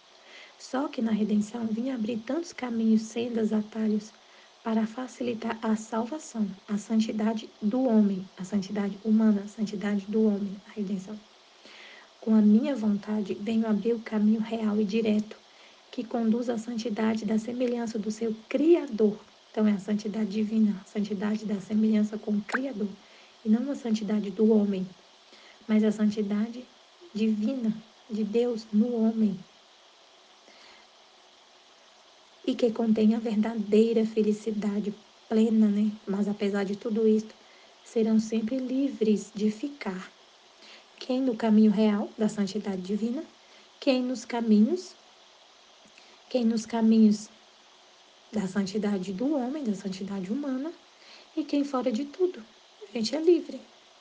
E quem fora de tudo, nem santidade humana, nem divina, e, e falsa santidade, como foi no trecho de hoje, né, do tema de hoje.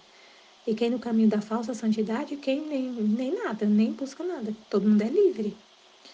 É,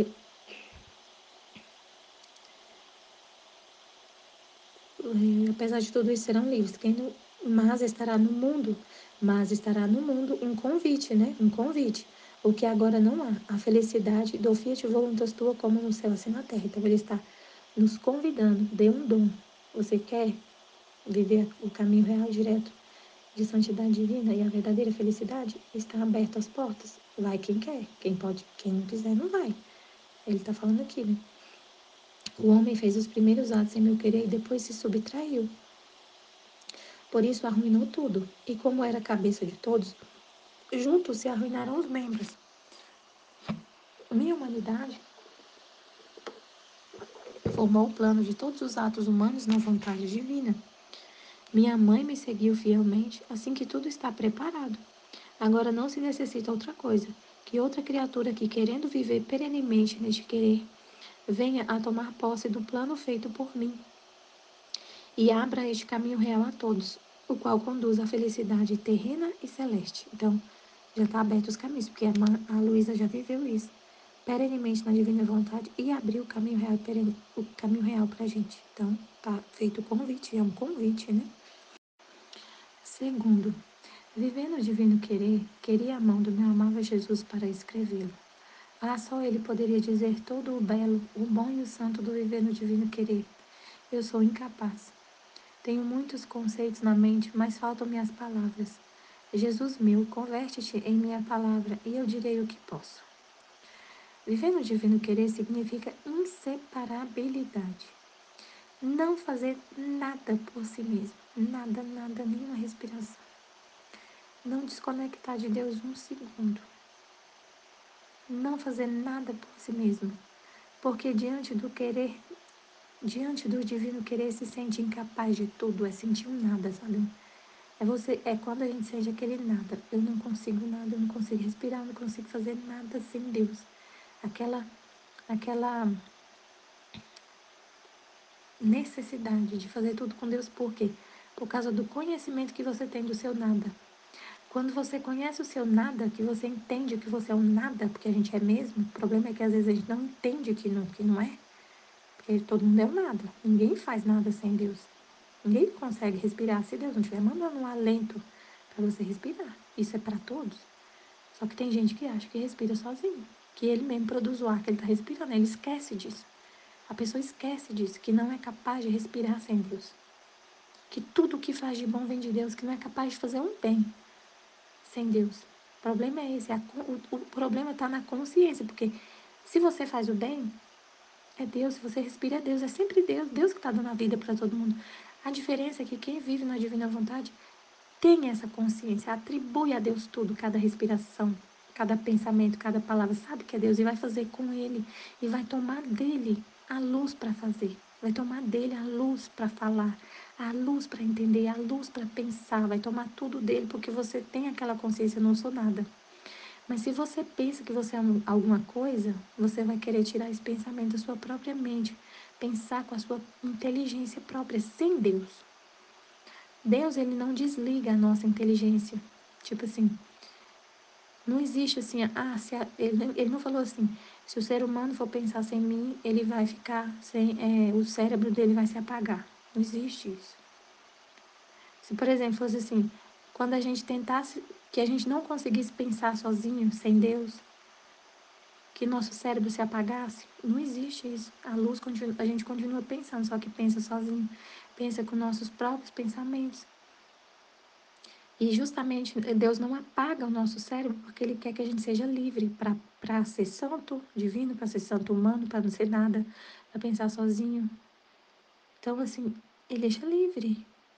Então, a diferença de quem vive na divina vontade é que sabe que não, não é capaz de pensar de forma. Não, não é capaz de ter pensamentos bons e santos sem Deus. Então, tudo que vai fazer vai com Deus, porque sabe que é um nada, que quando for pensar sozinho, vai pensar tudo o contrário. Vai pensar tudo errado e não quer pensar errado. E você tem repugnância de pensar sozinho. Você chega a ter repugnância de pensar sozinho, de, de falar sem a, sem a palavra de Deus, de falar da sua própria boca as palavras. Você fica assim, você fica assim, não, não quero nada, não quero fazer nada por mim mesma. Senhor, eu vou falar com meu esposo, fala que eu não tenho nada para falar para ele que presta. Se eu for falar sozinha, sem a sua palavra, eu vou falar tudo errado. Eu vou falar, eu não quero, eu tenho repugnância de pensar sozinha, falar sozinha, fala na minha boca. Fala o que o Senhor quiser. Eu não tenho nada, nada para falar para ele. Eu não sei de nada. Eu não sei de nada. Eu não sei dar conselho nenhum para ele. Estou aqui disponível. Minha boca está aqui, Senhor. Fala na minha boca. Aí ele fala. Porque você quer tomar a palavra da boca dele. Você quer pegar o pensamento da mente dele. Não faz nada por si mesmo. Porque diante do divino querer se sente incapaz de tudo. Não pede ordens nem a recebe. Porque se sente incapaz de ir sozinho diz: se queres que faça, façamos juntos. E se queres que vá, vamos juntos. Então vamos juntos trabalhar. Porque eu me sinto incapaz de fazer, de tomar qualquer decisão lá no meu trabalho, sem a vontade divina. Eu não tenho capacidade de, de falar uma palavra. Então vamos junto trabalhar, vamos junto conversar, vamos junto pensar, o tempo todo junto, inseparáveis. Portanto, faz tudo o que o Pai faz. Se o Pai pensa, faz seus os pensamentos do Pai, imita o Pai. E não faz mais nem menos, não, e não faz nem mais um pensamento do que faz o Pai. Se o Pai olha, se fala, se age, se caminha, se sofre, se ama, também ela olha para o que o Pai olha, repete as palavras do Pai, age com as mãos do Pai, caminha com os pés do Pai. Sofre as mesmas penas do Pai e ama com o amor do Pai. Vive não fora, mas dentro do Pai. Por isso é o reflexo e o retrato perfeito do Pai, o que não é para quem vive somente resignado. Então, a dor que você sente é do Pai, em qualquer coisa que aconteça. Os seus sentimentos que você tem, você sabe que você tem a consciência que os seus sentimentos é o do Pai. Que a dor que você está sentindo de alguma coisa que alguém fez para você, você vê nisso a dor do Pai. Não a você esquece de você plenamente. A este filho é impossível encontrar sem o Pai, nem o Pai sem ele.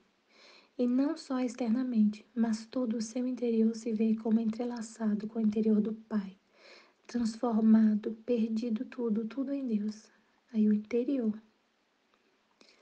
Todo o seu interior se vê como entrelaçado com o interior do Pai. Tem ali uma conversa constante com o Pai.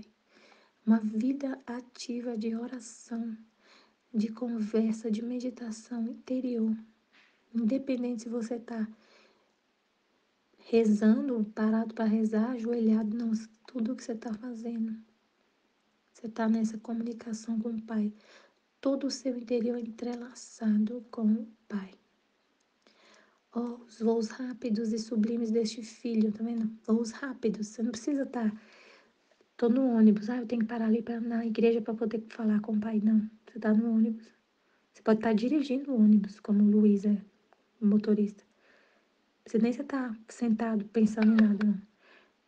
Você tá dirigindo o ônibus e tem um monte de gente entrando e saindo. E você tá com essa conversa com o pai. Olhando tudo com os olhos do pai, ouvindo com os ouvidos do pai, amando, com, amando a todos, vendo todos como os filhos do pai. E você se sente pai daquelas pessoas que estão entrando dentro do ônibus. Você sente como se fosse um pai para eles, porque você tem o coração do pai. Então você ama com o amor de pai ou mãe, você vê todo mundo como seu irmão, filhos do mesmo pai. Você sente até que você é pai daquela pessoa, te dando amor, porque é o amor de Deus em você. Você quer só amar do jeito que Deus ama. Os voos rápidos. Está sempre conectado com o Pai, em qualquer lugar. Este querer divino é imenso. A cada instante circula em todos, dá vida e ordena tudo. E a alma, espaçando-se nesta imensidão, voa para todos, ajuda a todos, ama a todos. Mas como ajuda e ama o mesmo Jesus? O que não pode fazer quem vive só resignado. Porque quem vive resignado olha muito para si mesmo. Fica com seus próprios pensamentos, com suas próprias vontades. Então você não vai se estender para todos, pensar em todos, amar a todos, ajudar a todos. Ajudar, não é no sentido de ajudar, é como ajuda o pai, né? Não é no sentido de ajudar, obrigando a pessoa a ir a fazer o que você está fazendo, a escutar você. Não, não é isso, é ajudar. Principalmente, o que é ajudar? Falar a verdade para as pessoas. Uma das coisas que ajuda muito, como a gente falou ontem, ajuda muitas pessoas a não, a não pecar, não ofender a Deus, é falar a verdade. Não deixar nada oculto, escuro. Igual às vezes eu falei, né? Às vezes eu tô. A gente tava falando na, na parte antes de começar a live. Às vezes eu tô muito estress, assim, estressada, muito sensível, muito é, com mau humor por causa do meu ciclo. Tô com TPM. E eu cheguei eu chegar e falar pra pessoa, olha, hoje eu não tô muito bem, eu tô com TPM. Aí se eu ficar brava, então a pessoa já me perdoa, porque já sabe que eu tô daquele jeito com TPM. É, são meus hormônios. Tô num dia que meus hormônios estão muito baixos pessoa já entende. Até os homens entendem. Ah, tá, então tá bom. Qualquer coisa que você fizer, eu vou relevar. E a pessoa releva. Agora, se ela não sabe, ela vai falar, nossa, mas essa menina é muito mal educada, essa menina é muito brava. Não, é, ela, a pessoa até ri, fala, não, tudo bem, você tá desse jeito. Então, a verdade ajuda muito a pessoa a não ofender a Deus. Assim, a quem vive no divino querer, é impossível fazer por si só. Mas bem sente náusea de seu obrar humano, tá vendo? Se a gente tem a consciência, é pelo conhecimento que a gente sente náusea do querer humano. A gente sabe que e pensar sozinho, falar sozinho, ficar sozinho só vai dar, dar ruim. Então a gente sente náusea e não quer fazer nada sozinho. Sente um temor de fazer as coisas sozinho. Ainda que seja santo, ainda que seja fazer uma oração, ainda que seja assim, fazer uma oração, fazer uma obra de caridade, fazer qualquer coisa, não quer fazer com seu querer humano, seu obrar humano. É sério, assim, um negócio sério, assim, de você não querer fazer nada sozinho. Nenhuma coisa que a seus olhos parece bom. Porque, como falou, Deus está acima do bem e do mal. O que ele vai falar aqui, ó? É a vontade divina. A vontade divina está acima de tudo do bem e do mal, porque assim, às vezes a gente acha que uma coisa é boa e não é, e uma coisa é má e não é.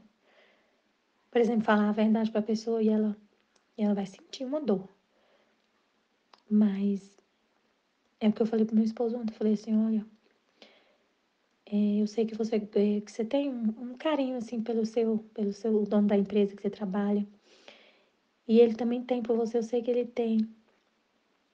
Mas você sair vai ser bom para ele. Vai ser um amor, vai ser uma caridade você sair, ficar lá só 30 dias e sair, desligar dele. Porque ele, ele, eu senti assim que ele, pelo, pelo que você fala, ele acha que tudo se resolve com dinheiro.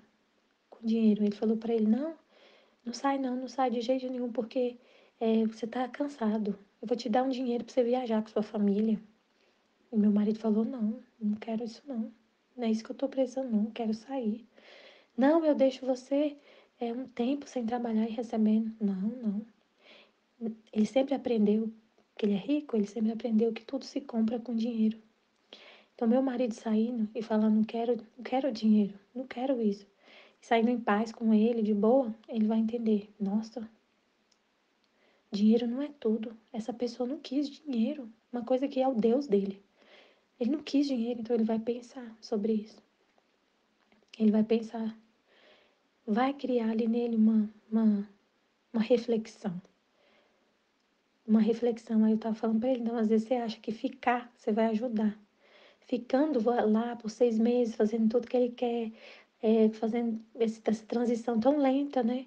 Você vai ajudar, mas não vai. Você vai piorar a situação. Você saindo mesmo vai ser, vai ser um bem. Então, às vezes, a gente pensa que o bem é mal, que o mal é bem. A gente, sem, sem Deus, sem essa luz de Deus, sem pensar junto com Deus, você acaba pensando o contrário. Aí na hora Deus me mostrou que, que era um, um amor dele sair, que era um bem ele sair. Falei várias coisas para ele. Então a gente às vezes a gente pensa, como foi falado ontem, o humano pensa o contrário do que o divino pensa. Pensa o contrário. Então a gente tem que ficar sempre esperto, pensar com, com o pensamento de Deus, né? As coisas ainda que santas, é, ainda que santo, porque no divino querer as coisas, ainda as menores, tomam outro aspecto, adquirem nobreza, esplendor, santidade, potência e beleza divina, multiplicam-se ao infinito, e num instante faz tudo, e depois que fez tudo diz, não fiz nada, fez Jesus. E este é todo o meu contentamento. Que miserável qual sou, Jesus me deu a honra de ter-me no divino querer para fazer-me fazer o que ele fez. Então você não fica querendo fazer grandes coisas. É, as mínimas coisas tomam outro aspecto, porque ele é Jesus que está fazendo. Então, a, o seu contentamento é saber que Jesus respirou na sua respiração. Que Jesus trabalhou nas suas mãos, pensou na sua mente, por mais pequeno que seja. Uma coisa rotineira. Fui trabalhar. E hoje Jesus, e Jesus trabalhou comigo. Jesus estava em mim, fazendo tudo. Esse é o contentamento. Não é fazer grandes coisas. Assim que o inimigo não pode molestar a esta filha em se fez bem ou mal, pouco ou muito. Porque tudo fez Jesus. Então você fez pouco, por exemplo, você não fez milagre de cura em ninguém. Você não viu ninguém na sua frente se convertendo a Deus e virando santo. Você não fez nada assim grande. Fez nenhuma cura, ninguém foi batizado no Espírito Santo por causa da sua palavra, que você falou, você fez pouco, você varreu a casa, limpou o neném, trabalhou em casa, fez comida, varreu a casa, lavou a roupa do seu esposo, conversou com seu esposo, abraçou ele, beijou seu filho, coisas pequenas. Mas você, ninguém vai julgar que você fez muito pouco, porque foi Jesus que fez, você fez bem ou mal. Porque foi Jesus que fez. O seu contentamento é saber que Jesus estava ali naquele ato, fazendo aquele aquele ato que você fez. E ela junto com Jesus. Esta é a mais pacífica, não está sujeita à ansiedade, tá vendo? Então, quando você não está nessa inseparabilidade, você está sujeita a ansiedades. Não ama nenhum e ama a todos. Então, se você não está nessa inseparabilidade, você não ama a todos. Mas divinamente pode dizer, é a repetidora da vida de Jesus, o órgão da sua voz, o bater do seu coração, o mar de suas graças. Só nisto, creio, consiste a verdadeira santidade. Né? Só nisto. Todas as outras são sombras, larvas, aspectos de santidade. No querer divino, as virtudes tomam lugar na ordem divina. Ao contrário, fora dele, na ordem humana, estão sujeitas à estima própria, à vanglória, a paixões, se você vive só resignado está sujeita a paixões, porque vai entrar a sua vontade. E a sua vontade, ela é encrenqueira. Ela pensa em si mesma, ela faz você ter querer a estima das pessoas, querer ser santo para poder ter uma estima, ser reconhecido, se ver como perfeito, se ver como virtuoso, isso é estima própria. Você não fala as coisas às vezes para não magoar a pessoa e não perder a, a estima daquela pessoa. Então, no divino querer não tem isso. Oh, quantas boas obras e quantos sacramentos frequentados são de chorar diante de Deus e de reparar-se, porque estão vazios do divino querer, portanto sem frutos. Queira o céu que todos compreendessem a verdadeira santidade. Oh, como todas as outras coisas desapareceriam. É isso que a gente quer também, Senhor. Que todos entendam a verdadeira santidade. Portanto, muitos se encontram no caminho falso da santidade. Nem a santidade humana e nem divina. Isso é santidade falsa, falsa santidade. Muitos apoiam nas pias práticas de piedade. E aí, e ai de quem as estoura. Então a pessoa pensa, santidade é rezar todas as novenas, fazer todas as, as seguir todas as práticas de piedade, as, as devoções, então, eu, eu ia à missa todo santo dia, participar de tudo que tem na igreja. Ai de quem me impeça de ir. Se um filho ficar doente, eu vou mesmo assim. Ai de quem ficar doente ficar me pedindo para ficar em casa, cuidando, né? Pensa você tem um filho pequeno, ou um esposo que precisa de cuidados, assim, uma pessoa doente em casa, não sei. Aí, se você coloca a sua santidade na piedade, se você não, não, não puder ir, não puder praticar, você fica inquieta. E às vezes aí você não olha para a vontade de Deus. Você olha para a sua própria vontade. Eu quero ir participar de tudo. Mas às vezes Deus quer que você fique em casa. Porque você tem um filho muito pequeno, que está usando fralda ainda, amamentando ainda. E aí, por exemplo, você, você, fica, você, você tem uma vida ali de piedade, de, de uma prática de devoção. Aí você fica grávida. E aí vai mudar sua rotina. E aí? Aí você vai ficar perturbada, inquieta, porque não pode mais fazer o que você fazia antes. Vai ter que ir menos, mas é a vontade de Deus, seu filho. Então, assim. Ó, oh, como se enganam. Se seus quereres não estão unidos com Jesus e também transformados nele, o que é contínua oração? Contínua oração é viver em conexão com a vontade divina o tempo todo. Isso é contínua oração.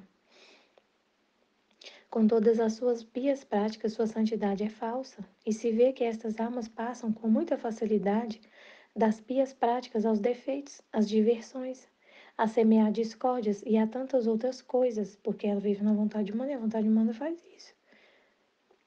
A gente vive não tem a mesma vontade de Deus, então você não ama a todos, por exemplo, como quem vive na divina vontade. Aí se alguém fala mal de você, aí você já começa a odiar a pessoa.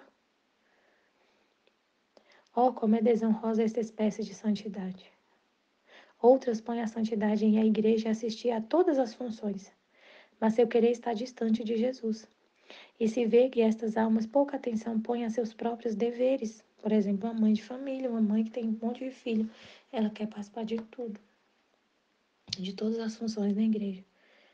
Mas eu querer estar distante de Jesus, e ela não cuida dos seus próprios deveres, dos seus ofícios, né? Não cuida dos seus próprios deveres, então sai da vontade querida e ordenada de Deus. Então saiu da divina vontade, viveu com sua própria vontade. E se são impedidas, se enfurecem, choram porque sua santidade lhe vai pelo ar. Lamentam-se desobedecem, são as chagas das famílias. Ó, que falsa santidade! Desonra o pai e a mãe às vezes, porque a mãe fala: Meu filho, mas você tem que me ajudar aqui em casa. Hoje vai ter. Seu irmão vai vir aqui, seu pai vai chegar, tal hora eu preciso de ajuda para fazer o almoço. Você pode não ir hoje na novena? Se enfurece. Porque a santidade é ir à missa e participar de tudo, tudo que tem na igreja. Outros a colocam nas confissões frequentes. Então não é que, que, que ela tá falando que não é para ir à missa. Claro, tem que ir à missa, lógico. Mas ela tá falando de uma pessoa exagerada que, que coloca a santidade nisso, ir à igreja. Se não vai, não tem santidade. Às vezes a pessoa não vai por causa que não dá para ir. Tem os deveres em casa, que é a vontade de Deus. Tem que trabalhar. Outros a colocam nas confissões frequentes, na direção detalhada, em fazer escrúpulo de tudo, mas logo não se fazem escrúpulo de que seu querer não corre junto com o querer de Jesus. E ai de quem as contradiz. Estas almas são como os balões inflados, que assim que eles faz um pequeno buraco, sai o ar e sua santidade se esfuma e caem por terra. Estes pobres balões têm sempre que dizer, são facilmente levados à tristeza, vivem sempre em dúvida. E por isso que, queriam um diretor para eles, que em cada pequena coisa os aconselhasse, os tranquilizasse, os consolasse, mas logo estão mais agitados que antes, se apega com o diretor. Pobre santidade, como é falsificada. Gostaria das lágrimas de meu Jesus para chorar junto com ele. Não tenho um amor verdadeiro por Deus, mas um apego ao diretor, às vezes. A estima do diretor, a ser considerada pelo diretor. Pobre santidade, a falar: Eu tenho um diretor espiritual. Enche a boca e fala. Meu diretor espiritual é o padre tal das quantas, não sei da onde. Famoso no YouTube, por exemplo. Pobre santidade, como é falsificada. Gostaria das lágrimas de meu Jesus para chorar junto com ele sobre estas santidades falsas e fazer conhecer a todos como a verdadeira santidade está em fazer a divina vontade e viver no divino querer. Essa é a verdadeira santidade.